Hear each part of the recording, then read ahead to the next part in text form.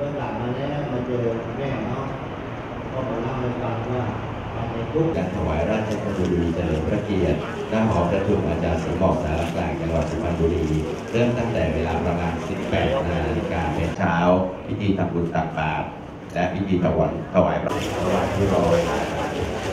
เข้าร่วมพิธีถวายพระพรในวันเวลา8นาฬิกา30นาที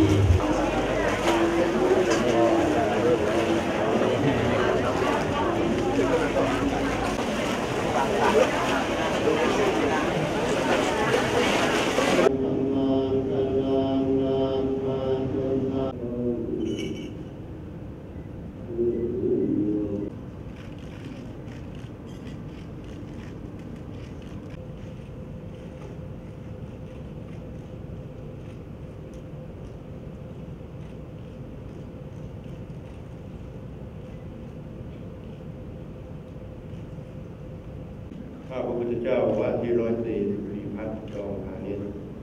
วันที่พระวรกาย พระปัญญา และพระราชา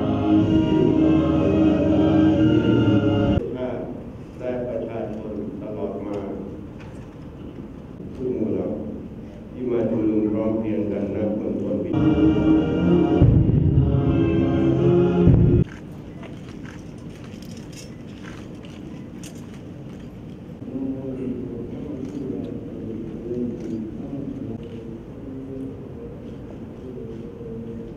Thy